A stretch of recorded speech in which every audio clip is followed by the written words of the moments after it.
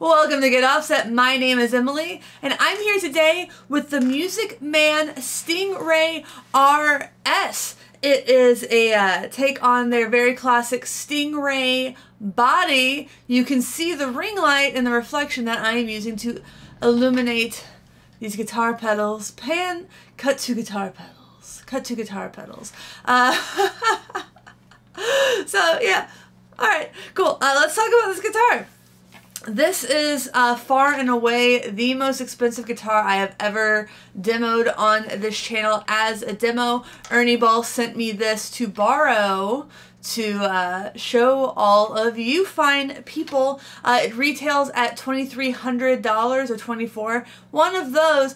And even though it is an expensive guitar, it feels expensive. Like it feels like a top-notch supremely quality instrument. Uh, for the price, it's I, I feel like it's fair. And so it comes down to whether or not you would spend that much money on a guitar. But if you did, you would not be disappointed with the build quality of this. Take that off for a second. Uh, you can see it has this beautiful tort guard, this powder blue body, matching torque to get to your uh, switch, your toggle switch, and your vibrato system, your block vibrato system. I'm probably just going to cut the audio from that part, turn it down in the meantime. That beautifully sculpted neck heel is extremely comfortable. You can see the angle on that neck heel. If you were playing up in the upper frets is you're to find it exceedingly comfortable. Uh, nice polished frets, super smooth fret ends, truly beautiful craftsmanship. I cannot say enough about the craftsmanship. The nut looks absolutely stunning. Uh, the bridge has really nice hardware. Everything feels super top notch. One little touch that I like is there is this rest covering the saddles, but uh, unlike old Jazzmasters, which had that that like little stop rest there, you can still get your palm muting on if you really, really want to. So that's just one of those thoughtful elements that I really appreciate in a guitar, uh, a guitar that has been uh, designed by people who built it. Uh, a C-shaped neck, I wouldn't call that too slim. I definitely have slimmer uh, neck profiles. I also have fatter ones. So I feel like this rests pretty comfortably in the middle. Man, every time I look at this, I'm like, the craftsmanship is really astounding. Uh, it'd be hard to photograph, but the, uh, I'm not even gonna try. I'm gonna go over here. It's gonna be out of focus, but you can see the fretboard going past the nut slot there. Really, really, really neat. Uh, I did just tune this up, but uh, I'm to go ahead and I'm to check the intonation out of the box. Uh, so when it's my guitar and I've been playing it for a while, I do tend to do a setup on it. But out of the box, I kind of want you to see what you all are going to get. So uh, high E, in tune, in tune, in tune, B, perfect. G. Perfect. D. Perfect.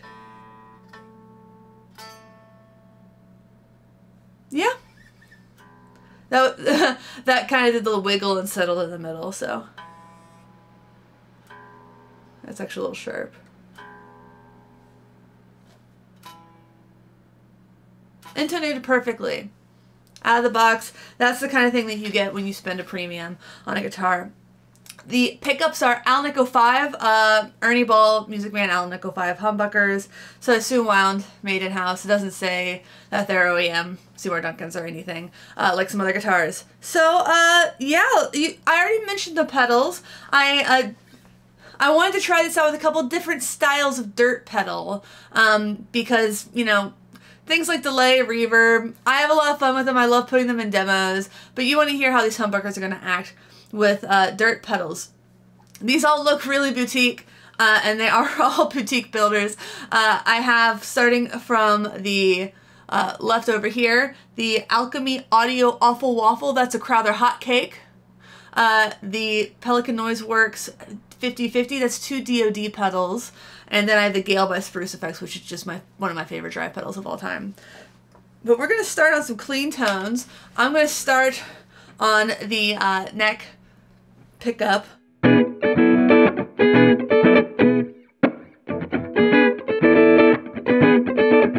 Don't know why I decided to play that.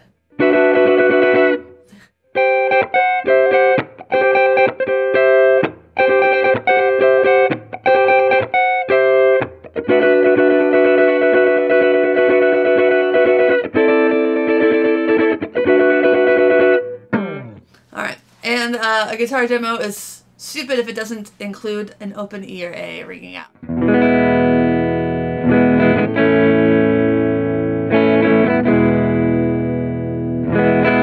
Let's go to the middle position.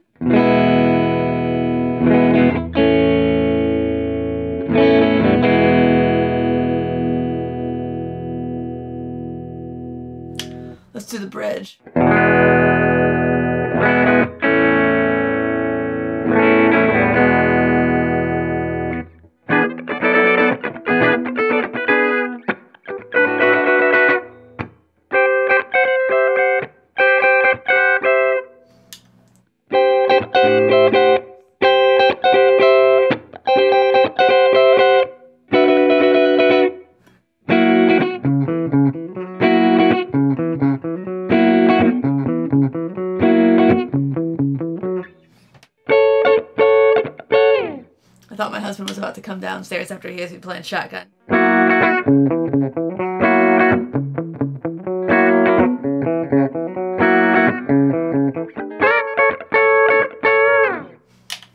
Neck.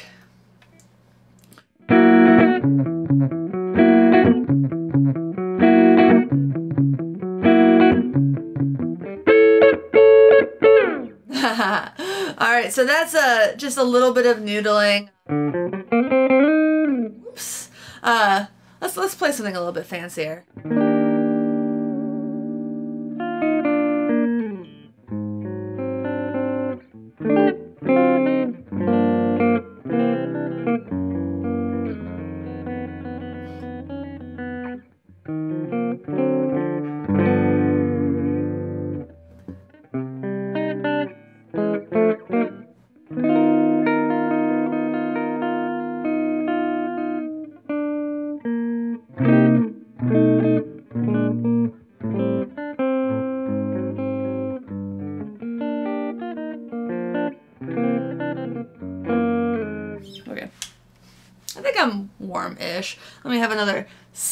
Coffee in my Ratboys mug.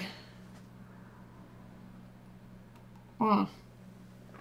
I'm filming this at 9 a.m. Through the Strymon Iridium, I did forget to mention that. Strymon Iridium round B, I will also take it through some other settings. Right now the gain's at noon, which is why it's pretty clean on that round setting.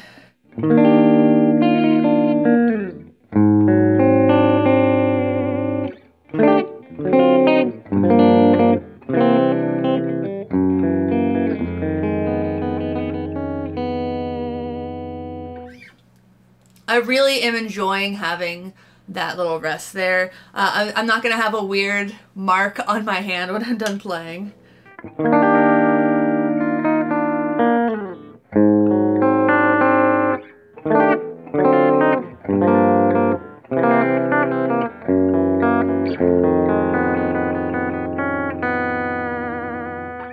Alright. Uh, so that was the Fender setting on low gain. I'm going to crank the gain and compensate the volume on the Fender. This is in the middle. I'm going to start in the bridge this time.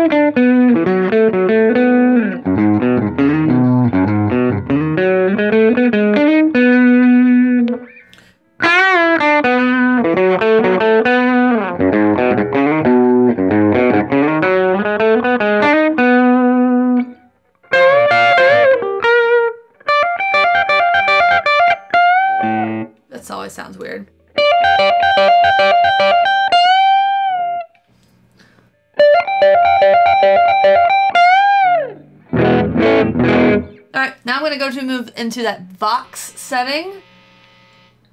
Keep the gain there. Right now I have the gain at noon on the Vox, and then I will crank it, do not you worry.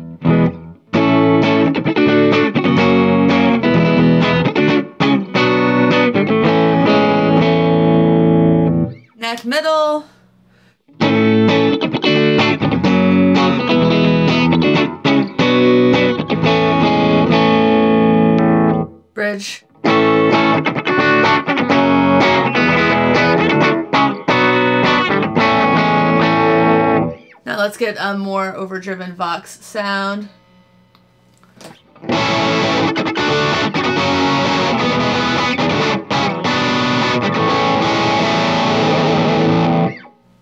Uh, middle.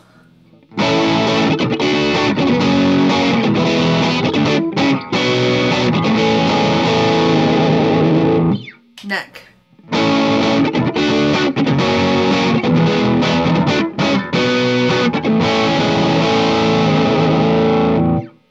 Let's move to the Marshall sound in the middle. Middle.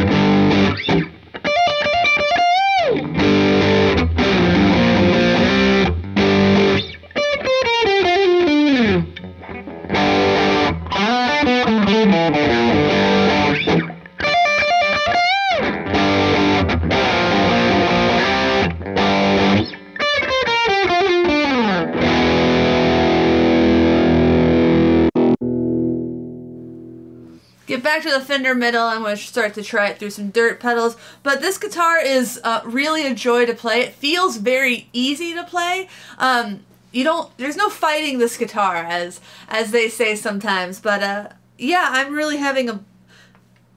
It just makes it makes it feel easy. I think it's those frets, jumbo frets.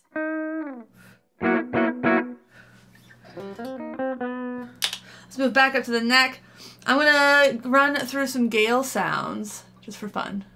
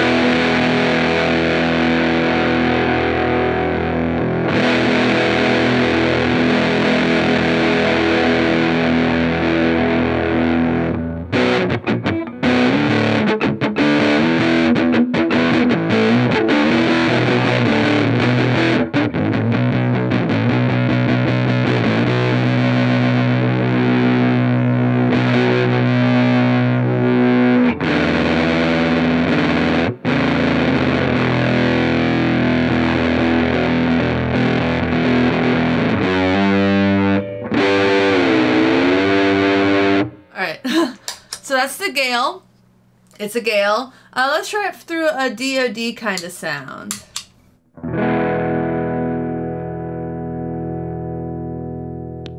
Yeah. I have on the normal toggle.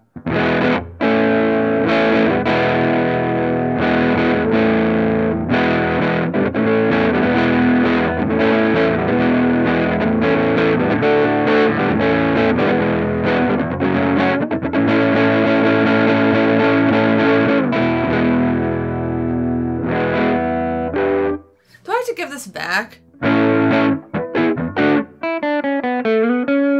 Crank the gain.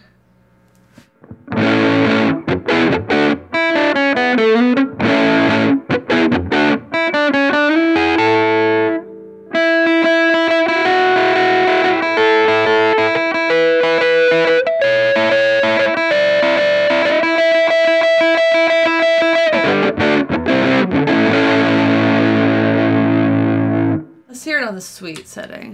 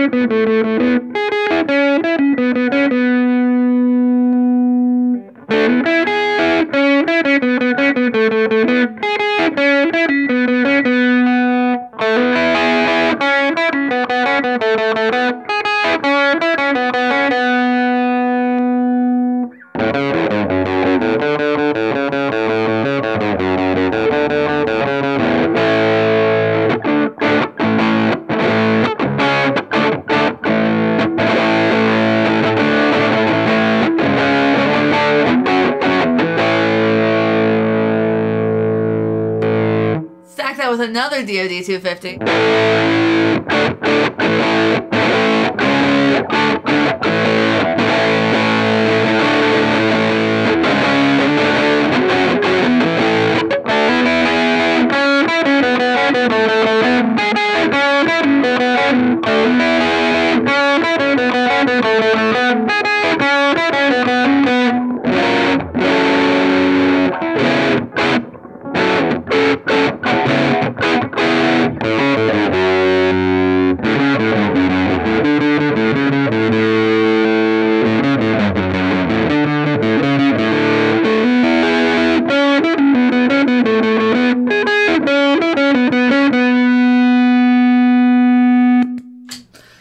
The Awful Waffle.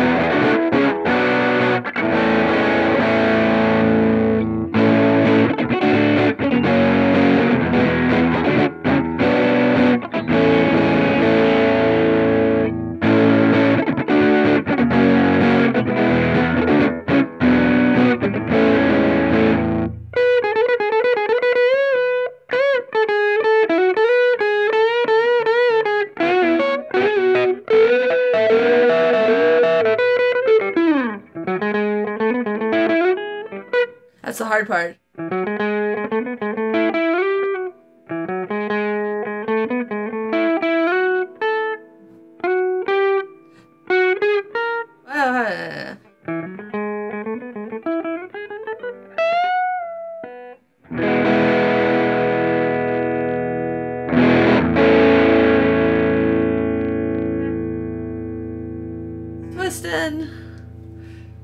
Twisting. In the eye.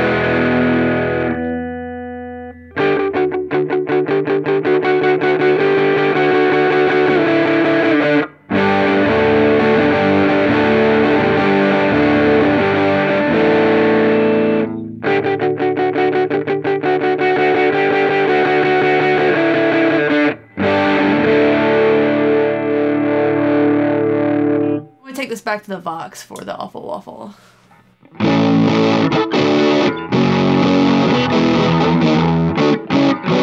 I was I was a little bit thrown off by how cool that sounded.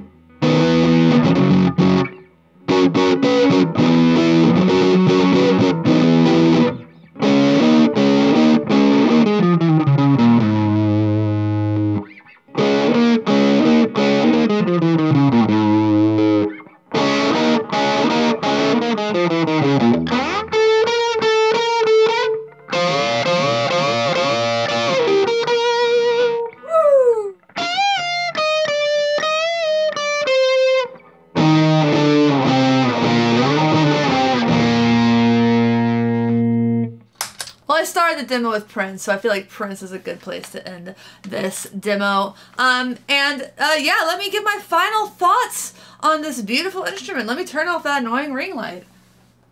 Boom, it's gone. All right, so this is a $2,400 guitar. It plays like a $2,400 guitar. Like this feels very price appropriate. Does anyone want to see how well it stayed in tune? Still in tune. Still in tune. Still in tune. Still in tune. Still in tune. Still in tune.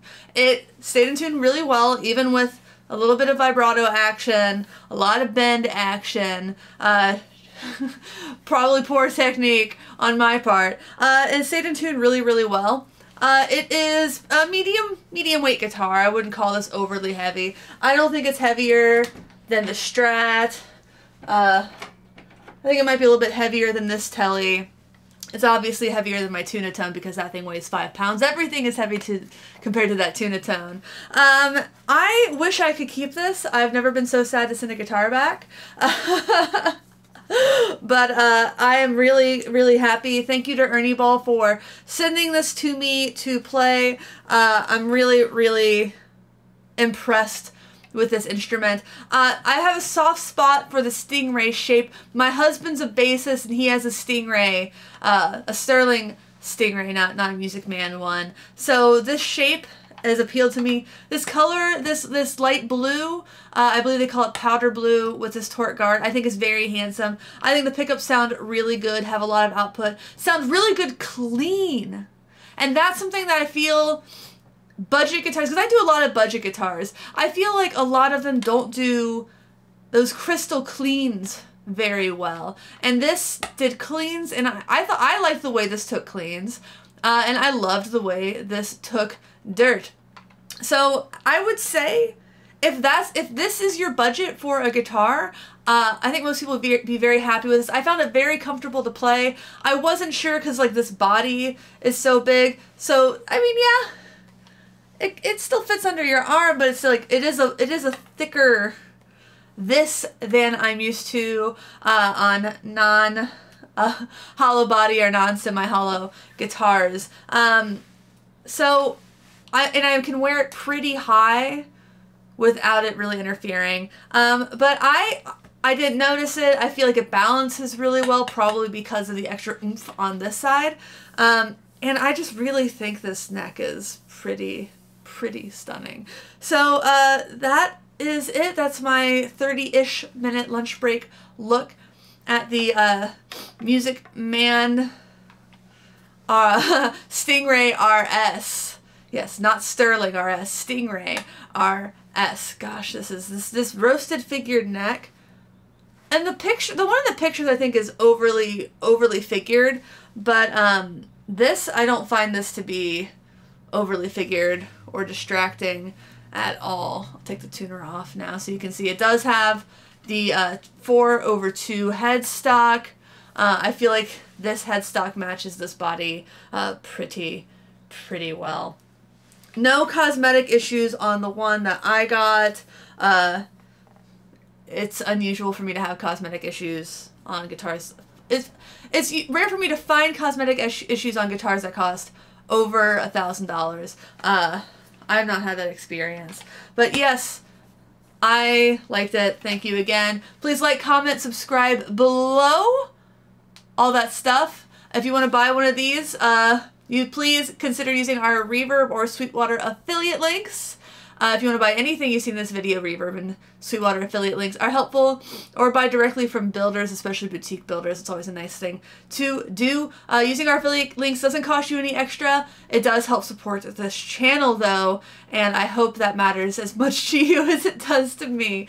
Uh, yeah, so thanks for watching. Thanks for understanding. Until next time, my name is Emily. Goodbye.